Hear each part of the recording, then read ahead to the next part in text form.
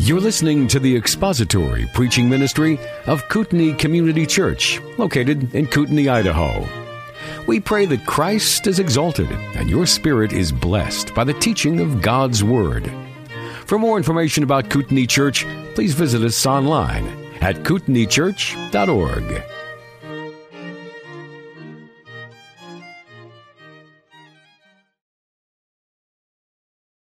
ask you a probing question this morning. What comes into your mind when you think about God? What comes into your mind when you think about God? A.W. Tozer has said that if you could exact an accurate and truthful answer to that question from any man, you could determine with certainty the future, the spiritual future of that man. What comes into your mind when you think about God? Because the truth of the matter is that you and I will become just like the God that we worship. And we will move toward the God that we worship. If your thoughts about God are below Him, if they are base, if they are debauched, if they are low, then you will inevitably gravitate toward that God that you worship, and your conduct and your thinking and your theology will become debased and debauched and low. But if, on the other hand, your thoughts about God are magnificent and high and glorious and exalted and worthy of Him, then your conduct and your thoughts and your theology will be high and exalted and worthy of Him. A.W. Tozer calls this the secret law of the soul, that we move toward that which we worship. That is true, is it not? We move toward that which we worship. That was the truth that was expressed in Psalm 115 that we read today. After talking about the idols who have hands but cannot feel, feet that cannot walk, eyes but they cannot see, and ears but they cannot hear, the psalmist says, everyone who makes them becomes like them. You become just like the God that you worship. And so I ask you this question. What comes into your mind when you think about God? Thoughts that are worthy of Him? Or thoughts that are far below what He actually is? What do you think about? Now, your knee jerk Christian response is to do this. It is to say, Jim, I only think high thoughts of God. I never think anything about God that is not true of Him. And so my picture of God in my mind that we just got done worshiping is God as He has revealed Himself in Scripture. Now I ask you this question because you don't have to bow down before a piece of wood or before a piece of metal or before a graven image to be guilty of idolatry. The reality is that you can come here on a Sunday morning and sing all of these songs and worship and listen to the scripture reading and listen to the preaching of the word and serve the Lord and leave here and be an idolater. How is that possible? Because idolatry is not the act of bowing down physically before an idol. Idolatry is a sin of the mind and of the heart. That's what idolatry is. Let me give you a passage of scripture that you're already familiar with. Romans chapter 1. Listen to how the apostle Paul describes how people devolve into idolatry. Even though they knew God, they did not honor Him as God nor give thanks, but they became futile in their what? Their speculations. They became empty in their thoughts futile in their thoughts, and their foolish heart was darkened. Professing to be wise, they became fools and exchanged the glory of the uncorruptible God for an image made like man, four-footed beasts, creeping things, and birds. Uh, it started in the mind. They did not honor God as God, but they became empty in their thoughts, and then they exchanged the glory of God for an image made like corruptible man. But where did it begin? Where does idolatry begin? Does idolatry begin when we form an idol? When we carve a piece of wood and overlay it with gold? Is that when idolatry begins? No. Idolatry begins in the mind. You know what idolatry is? Idolatry is assuming something about God and then acting as if it's true. That's idolatry. And an idol of the mind is just as offensive to God as an idol of the hand. Gets that? Your false concept of who God is this idea of who God is that you have pictured in your mind, if it is not an accurate reflection of who God is as He has revealed Himself in Scripture, then you worship an idol. Whatever else may be true of you. However much you may read the scriptures and however much you may sing Christian songs and say nice things about God and even believe on Christ for salvation, if the God that you worship has been fashioned in your mind after your own likeness, you are an idolater. Even though you may never physically bow down and worship an image. Because idolatry is a sin of the heart and it starts in the mind. It is assuming something is true of God and then acting as if it is. You know what the horrendous part about idolatry is? It is libel on God's character. It's libel on God's character. It is saying this is true of God when it is not. Because the idolater not only slanders God's character by saying things are true about Him that are not true about Him, but he goes one step further.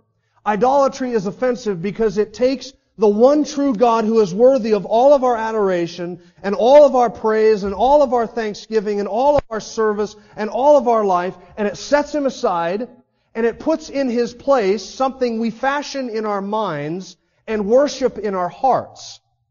And it's libel on his character. It is saying to God, you're not worthy of my worship. This is worthy of my worship.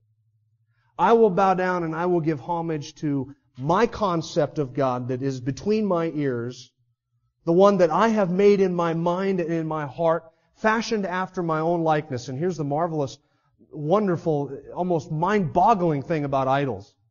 You look at any idol that you and I might worship, and it will bear a striking resemblance to the worshiper. You ever notice that? When they make idols, what do the idols have? Hands, feet, ears. And they have spiritual and emotional and mental characteristics that are much like the people that bow down and worship them. Psalm 115. Everyone who worships them becomes like them. Everybody who trusts in the idol becomes like the idol. Because we tend to fashion an idol after our own thinking, after our own mind.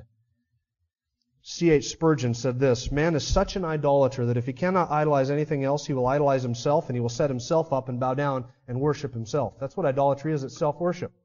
We take something that's much like us, not us, but it's much like us, and we set it up and we bow down to it. And we end up worshiping ourselves by proxy. That's what's so offensive about idolatry. And where does it begin? It begins in the mind. It begins by thinking wrong thoughts about God and acting as if those thoughts are true. And so I ask you, what comes into your mind when you think about God? Have you created a God that's fashioned after your own liking? In Acts chapter 17 in the city of Athens, there were two types of idols present. And you'll need your Bibles open to the book of Acts chapter 17. There were two types of idols present. There were idols of the hand that had been fashioned by the men and the women in the city. Uh, Paul walked into Athens and he saw a city that was smothered with idols. Idols all over the place. Easier to find an idol in Athens than it was to find a man, it was said. Idols of the hand, carvings, engravings, and statues, and shrines, and temples, and all of these things that the people bowed down to. But then there were also idols of the mind in Athens. These were the idols that were worshipped by the Epicurean and the Stoics because the intellectual elites of the Areopagus would never have bowed down and worshiped before a piece of wood or a piece of metal. They were too good for that. Instead, they had fashioned in their minds who they thought God was. For the Epicureans, it was some small, weak, distant, insipid God who had nothing to do with the affairs of men, nothing to do with creation, nothing to do with judgment, nothing to do with sustaining his creation. If God existed in the mind of the Epicurean and the Stoic, he was a far off, distant God and had nothing to do with you and I. We could not count on him to create anything, to sustain anything, or to judge anything. And so in Acts chapter 17, the apostle Paul, in preaching this message before the Areopagus, is attempting to lift the eyes of his audience off of their idols of the hand and their idols of the mind to the one true God as he has revealed himself in the pages of Holy Scripture. Now, last week we got halfway through the second point of Paul's sermon, and we're going to continue with that. And I want you to look at verse 22, and we'll read it and catch its context one more time, and then we'll continue with where we left off last week. So Paul stood in the midst of the Areopagus, and he said, Men of Athens, I observe that you are very religious in all respects. For while I was passing through and examining the objects of your worship, I also found an altar with this inscription, to an unknown God. Therefore, what you worship in ignorance, this I proclaim to you. The God who made the world and all things in it, since he is Lord of heaven and earth, does not dwell in temples made with hands, nor is he served by human hands as though he needed anything, since he himself gives to all people life and breath and all things. And he made from one man every nation of mankind to live on all the face of the earth, having determined their appointed times and the boundaries of their habitation, that they would seek God if perhaps they might grope for him and find him, though he is not far from each one of us. For in him we live and move and exist. As even some of your own poets have said, for we also are his children. Being then the children of God, we ought not to think that the divine nature is like gold or silver or stone, an image formed by the art and thought, the reference to the mind, or the speculation or device of man. Verse 30, Therefore, having overlooked the times of ignorance, God is now declaring to men that all people everywhere should repent, because he has fixed a day in which he will judge the world in righteousness through a man whom he has appointed, having furnished proof to all men by raising him from the dead. A couple of weeks ago, we looked at how God is the creator of all things. Last week, we started looking at how God is the sustainer of all things. And the apostle Paul is wanting to lift their eyes off of their idols and onto the one true God who created the world and everything in it. And then he sustains the world and everything in it. Far from being a God who needs our supply, he is the God who supplies all of our need. And none of our service and none of our existence and nothing that we can do can contribute anything to his person. This is the, the God that Paul is proclaiming to them. And we got halfway through this idea that God is the sustainer of all things, and we finished at the end of verse 26, where Paul says that God has determined the appointed times and the boundaries of their habitation. Verse 27, 28, and 29 continues with this thought of God being the sustainer of all things, and Paul points out to them two things. First of all, man's responsibility to God, and second, man's rejection of God. Now you'll notice that up into verse 26 and through the end of verse 26, you're hard pressed to put your finger on anything that the apostle Paul might be saying which might sound like he's calling them sinners. Do you notice that? No mention of sin, no mention of the cross, and you start to wonder, Paul, when are you going to get to the good stuff? When are you going to get to the fact that these people are sinners? That's, that's today's message. God is the creator of all things. He is the sustainer of all things. And as sustainer of all things, God demands certain things of us, and we are responsible to God for certain things. Look at verse 27. What are we responsible for him, to him for? That they would seek God if perhaps they might grope for him and find him, though he's not far from each one of us. What are we responsible to do? Seek God. Simple. He has appointed the boundaries of our habitation. He has appointed our times and our seasons, when we live, when we die, when nations rise, when nations fall, in order that we might what? Seek Him. It, you and I should be able to look out at all of creation and say to ourselves, this, we live among, in one large effect. If we live amongst in an effect like this, then there must be a cause. And so we might trace back to the cause and say there is a certain cause that caused this effect. And we are responsible to seek after the uncaused cause. God holds us responsible for that. We are responsible to look at creation and say the invisible attributes of a creator are evident everywhere around us. In the trees, in the vast expanse of the universe, in the stars and the sun, in the exchange of plants and animals and human beings, in my own body I can see evidence of intelligent design. I am responsible to seek after that uncaused cause. I ought to be able to look at my own conscience, which bears witness to me day after day, either accusing me or excusing me, because the law of God is written on my hearts, and men, whether they know Christ or not, whether they know Christ or not, instinctively do the law. They know when they've done wrong. And guilt presses in upon us. And our conscience tells us that there must be a moral law giver who has placed within each side of us this conscience that bears witness to the moral law. And we are responsible to seek the uncaused cause and that moral lawgiver. And men ought to look at creation and see the care with which God cares for His creation. That the sun and the rain and the ground bring forth seed for the sower and bread for the eater. That God cares for a creation that has been in rebellion to Him for 6,000 years. And we ought to look at the creation, at our conscience, and at the care with which God nurtures us. And it ought to lead us to repentance so that we would seek Him. But does it? Does any man seek after God? Romans chapter 3 tells us what? No man seeks after God. Why? Because men love darkness rather than light. Because their deeds are evil. And Jesus said, men will not come to the light because they don't want their deeds to be exposed. If I come before a holy God and I pursue after the light, it's going to expose all of the rottenness in my soul and my spirit and my deadness and my sin. And I don't want that exposed. And I love darkness rather than light. And Jesus said, men will not come to the light. Romans chapter 3, the apostle Paul says, it is written, there is none righteous, not even one. There are none who understand. There is none who seeks for God. Man is responsible to seek after God, but does he?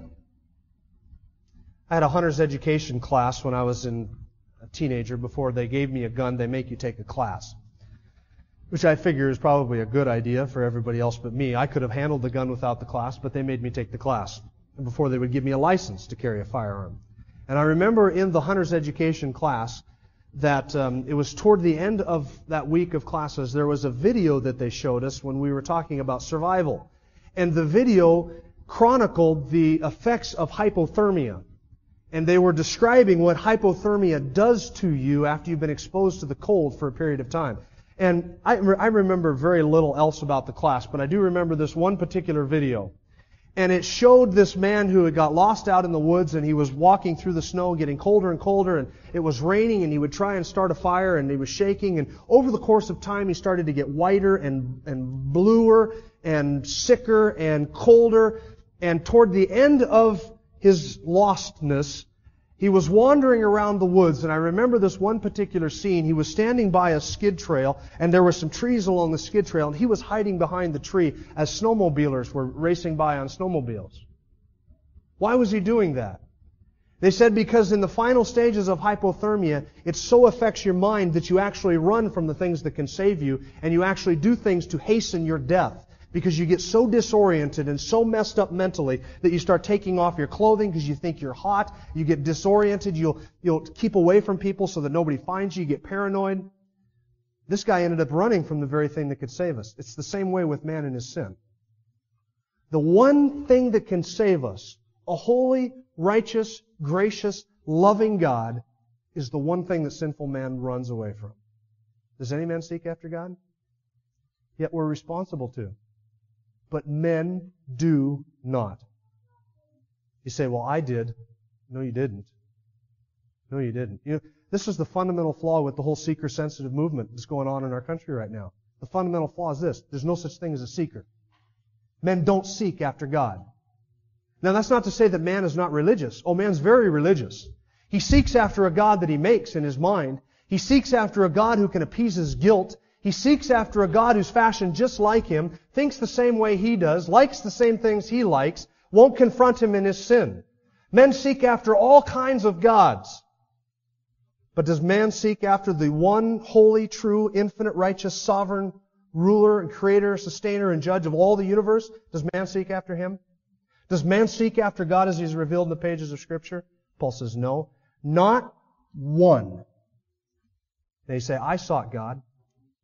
Well, Jesus said if you came to the Lord, if you end up coming to the light, it's not because you sought God, it's because God sought you. No man can come to me unless the Father who sent me draws him. You didn't seek him. He sought you and drew you to himself. No man seeks after God. Yet that's what we are responsible to do. To seek for him and to grope after him if we might find him, the apostle Paul says, because he is not far from each one of us. God is not far from each one of us. Look at the text in his message, verse 27. We are to grope for him and find him, and he's not far from each one of us. God is not distant. He hasn't hidden himself somewhere out in creation playing this game of cosmic hide and seek, holding us responsible to find him. He's very near to us. We can look at creation and say there is a God. He must be infinite. He must be a creator. He must be intelligent. He must be powerful. And we can see the invisible hand of God all over creation. He's not far from us. The Epicureans said, no, God is very distant. He has nothing to do with this world. If he has existed at all, it's simply far distant from us as he observes what happens here, but he'll never interfere with us. Scripture says the exact opposite. Jeremiah 23, Am I a God who is near, declares the Lord, and not a God who is far off? Can a man hide himself in hiding places so that I do not see him, declares the Lord? Do I not fill the heavens and the earth, declares the Lord? Psalm 145, the Lord is near to all who call upon him, to all who call upon him in truth. He's very near to us. If men would just reach out and grope for him. But do men do that? Never. Never. We don't seek after God, but that's the one thing that God holds us responsible to do. But men will not come to the light. And He's very near to each one of us. Then look what the Apostle Paul says in verse 28. In Him we live and move and exist, as even some of your own poets have said, for we also are His children. Now, verse 28, I want you to notice two things closely. The beginning of verse 28 is a quotation from a, from a pagan poet. The phrase, in him we live and move and exist, is a quotation from a pagan poet. Then Paul says, as even some of your own poets have said, the end of verse 28 is another quotation from another pagan poet.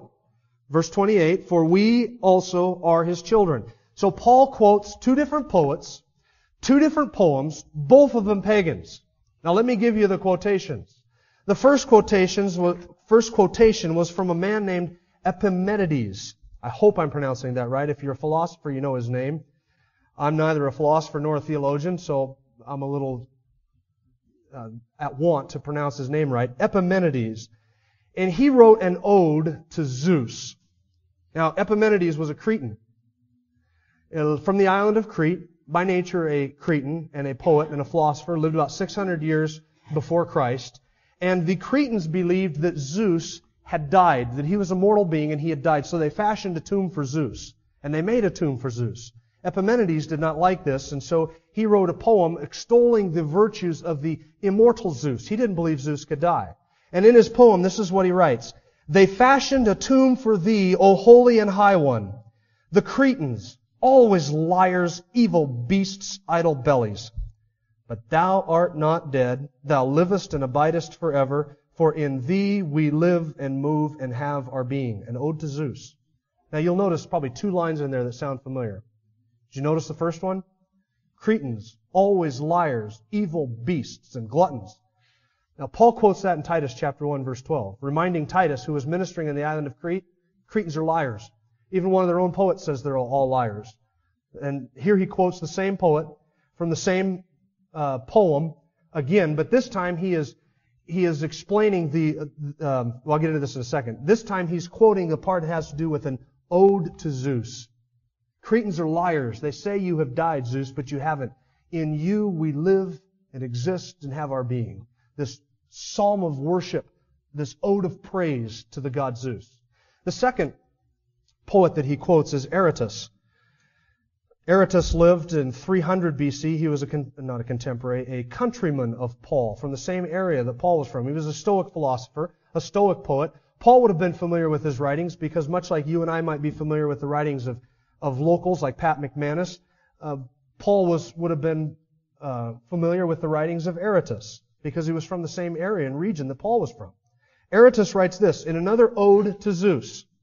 Let us begin with Zeus whom we mortals never leave unspoken, for every street and every marketplace is full of Zeus.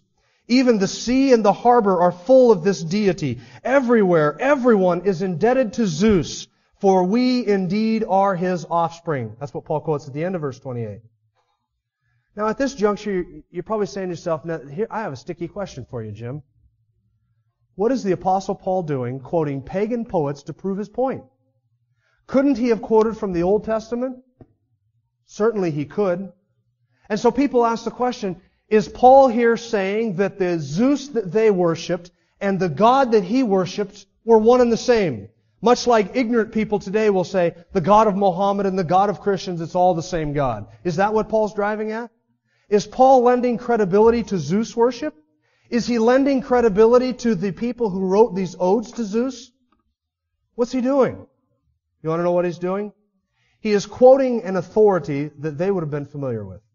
And he could have quoted from the Old Testament. He could have said, it says in the Jewish scriptures that, and he could have quoted any one of the prophets, probably from memory. But he doesn't do that. They wouldn't have understood Jewish scriptures. They wouldn't have been familiar with that. They wouldn't have known what he was talking about. And they didn't recognize it as authoritative. The apostle Paul is saying, God is near to us. He holds us responsible to reach out and to seek Him and to grope for Him. And we can see His invisible attributes in all of creation. And then to back up that assertion, he quotes these two pagan poets as even some of your own poets have stumbled across this truth. Now they wrongly attributed these things to Zeus. But these things that were true that the poets recognized from creation, those attributes belong not to Zeus, but to this unknown God that Paul is proclaiming. Even your own poets have recognized true things about the creator of the universe from creation, Paul says. But they attribute him to Zeus. Paul is saying these things are true, but not of Zeus. They are true of the God that I am proclaiming to you. I mentioned last week how I was invited into a public school system in Canada, public school in Canada, to teach on creationism for two hours. And when I went in there, I, I did something that I think was strategic. I didn't quote any creationists for those two hours. All I quoted was evolutionists. Now, when it came to defining what a creationist believes, I would quote a creationist because I wanted to accurately represent what the creationist believes. But when it came to refuting evolution or to building my case for creation, I didn't quote creationists. I quoted evolutionists. I quoted evolutionary scientists on the lack of fossil evidence, on the fact that their theory goes right in the face of all the established laws of science and the lack of evidence for it. I didn't quote any creationists at all. I could have quoted Duane Gish or John Morris. I, I had a list of people I could have quoted, but I didn't. I quoted evolutionists. Why would I do such a thing? Because if they came up to me after or during class and said, I don't agree with this point, I could honestly say, I haven't misrepresented what you believe. I've quoted your people about your theory and the lack of evidence. How are you going to argue against that? That's what Paul's doing. The pagan poets had stumbled across truth. We are all created by God. Aratus knew that. God is very near to us. Epimenides knew that. And Paul's saying, even your own poets understand the things that I'm telling you, and they couldn't argue against that because he's quoting their people. And they couldn't say, well, we disagree with that. Paul says, your own poets say that. Now, I wish I could say that that idea was mine, but I stole that idea from Paul. That's what he's doing. How are they going to argue against him? They can't It's brilliant what he does. Paul was obviously well read, obviously well versed in some of these poets and some of these secular authors, and so he pulls sources of authority that they would recognize, poems that they would recognize, and he's saying, here's the truth as stated by your own pagan poets. But they ascribe it to Zeus. These things do not belong to Zeus. These things belong to the one true God. And you're responsible to seek after Him. Now, when Paul says we're all his children or we're all his offspring, I don't want you to think for one moment that Paul's going soft on them and saying, look, we're all God's children. No matter what you believe or what you've done, let's just all wrap our arms around each other and hugs and kisses for everybody. We're all going to be with God in the end because we're all his children. That's not what he's saying. He's speaking in a creative sense. We are all his offspring because he is the creator of the world and everything in it. To a Christian audience, Paul would say the same thing this way. He would say, we are created in the image of God, and we bear His image, even though marred by sin. We are His offspring, Paul says. In other words, we share some of the attributes of the nature of God. Some of those personable attributes and relationship attributes. We are image bearers of God. And so if my nature cannot be contained in wood or stone or gold or jewels or something fashioned by the art and the thought of man, then neither can the divine nature. And that's what he says in verse 29. And this is where we, Paul comes to their rejection of God. Not only they're responsible to God, but verse 29, they have rejected God. Being then the children of God, we ought not to think that the divine nature is like gold or silver or stone or an image formed by the art and the thought of man. Insane, isn't it, that somebody should fashion an idol, cover it with metal, set it up on a shelf, and then bow down to it? Oh, my idol tottered. Just a second. Prop up the idol, put a little piece of paper underneath the one edge or a little folded piece of cardboard to keep your idol up straight. And then to bow down and to worship that. Isaiah pokes fun, or God actually in the book of Isaiah pokes fun at the idols. Isaiah chapter 44. The Lord says, or Isaiah says, you want to create an idol, so you go out and you plant a tree, a fir tree, and it grows up into be a big, nice tree. And the rain comes in and it waters the tree, and the tree grows up, and it gets the size that you want, and so then you go out and you cut down that tree. And you're cold and you're hungry, and so you take half of that tree and you cut it up into firewood, and you stack it up, and you go in and you start a fire to warm yourself next to the fire and you're hungry, and so you roast a roast over the fire, and then you eat the roast and you say, I'm filled, and you warm yourself next to the fire and you say, I'm warm. And then you take the other half of that same tree and you carve it and fashion it into an idol and you set it up and say, Thou art my God, deliver me. Is that not the height of insanity? By definition, anything you create is less than you. But men will actually create something in their mind and in their heart and by their hands and bow down and give homage to that thing as if that was the thing that created them. Insanity. But men, rather than seeking after God, men will fashion in their heart and in their mind and by their hands anything other than to worship the one true living God as he is revealed in the pages of Scripture. What kind of insanity has to be present to bow down and worship anything other than God as He is presented to us in Scripture?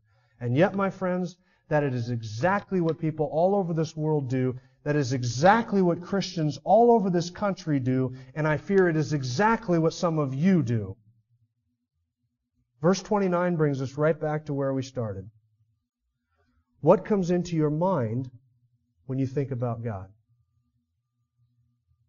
How do you think of Him?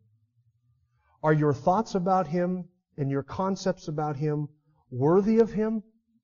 Or are they far below Him? C.H. Spurgeon said this If you love anything better than God, you are idolaters.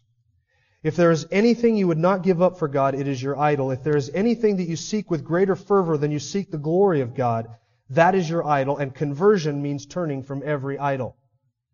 Spurgeon again said, This is the one easily besetting sin of our nature, to turn aside from the living God and to make unto ourselves idols in some fashion or another. For the essence of idolatry is this, to love anything better than God, to trust anything more than God, or to wish we have a God other than the one we have or to have some signs and wonders by which we may see him, some outward symbol or manifestation that can be seen with the eye or heard with the ear, rather than to rest in an invisible God and believe the faithful promises of him whom eye hath not seen nor ear heard. Anything we put before God becomes our idol. But so is anything that we think about God that is not true of him. That becomes an idol. And an idol of the hand is just as offensive as an idol of the mind. Because we may not bow down to something and worship it, but we may fashion in our minds a God that is much like us, and Him we worship. And we do this all the time. You want an example? The doctrine of hell. You know what the objection is to the doctrine of hell? I can't believe that the doctrine of hell and eternal punishment is true because that wouldn't be loving. And the implied assumption is God wouldn't do anything that I deem to be unloving. And so if it's unloving to me, it must not be true of God. And so we measure Him by our own yardstick and we fashion a God that is just like us. John Calvin said this, Indeed, vanity joined with pride can be detected in the fact that in seeking God, miserable men do not rise above themselves as they should, but they measure Him by the yardstick of their own carnal stupidity and neglect sound investigation. And thus, out of curiosity, they fly off into empty speculations. They do not apprehend God as He offers Himself, but they imagine Him as they have fashioned Him in their own presumption. I want a God that fits my definition of love, my definition of justice, my definition of fairness, my definition of equality. I want a God who's just like me. Have you ever paused to consider just how much like you the God you worship is? You ever pause to consider that? What sport does your God like? Of course, the one you like. What team does your God root for? Obviously not the team that I root for, because they're not doing too good. How does God want to be worshiped? You know what the answer to that question invariably is? My God wants to be worshiped exactly as I enjoy worshiping Him. And the question is never asked, how does God say He wants to be worshiped? If God wanted to be worshiped by us coming here every week and cutting holes in the palms of our hands, it would be our responsibility to worship Him that way. But you know how we worship Him in North America? However we're comfortable worshiping Him, whatever we feel good about, whatever makes us feel good, that's exactly how our God wants to be worshiped. The question we never ask is, how has God said He is to be worshiped? Another example? Election. What's the objection to the biblical doctrine of election? That's not fair. And so we take the yardstick of our own carnal stupidity, the yardstick of our own fairness, we put God up against it and we put him in this little box and we say, well, God's not allowed to do anything that I wouldn't want him to do, or that I don't think is fair, or that I don't think is just, or that I don't think is right. Friends, what comes into your mind when you think about God? John Calvin said, We do not apprehend God as he has given himself to us. Rather, we fashion him in our mind in a way that makes us comfortable, that doesn't offend us, and most of us have clay gods that are much like us, measured by our standard of fairness, measured by our standard of justice, shaped to be just like us. And so I ask you, have you taken all the rough edges off of your deity? Do you have him in your little boxes where you can control him and manage him and everything functions just like you want it to function? You have no problem explaining anything mysterious. Friends, we do not come to God on our terms. We come to God on His terms.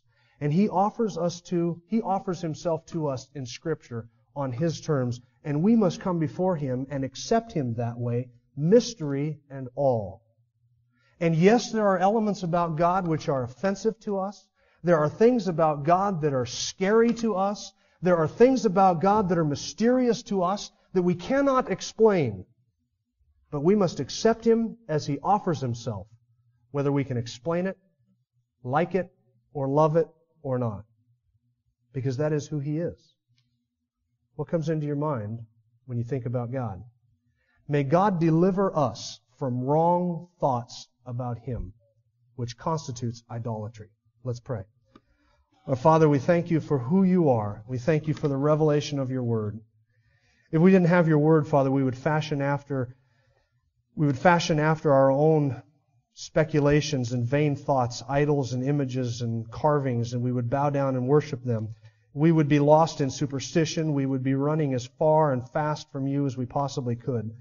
And yet you have rescued us from sin, and you have revealed yourselves to us, yourself to us in the pages of Scripture. And we ask, God, that you would convict us and give us the grace to accept you on your terms, to love you as you present yourself to us, and not to try and minimize who you are. Deliver us from wrong thoughts about you and help us by your grace to think only those thoughts that are worthy of you, that we might worship you as you are and not as we want you to be. We ask this in Jesus' name. Amen. Thank you for listening to the latest podcast from Kootenai Church.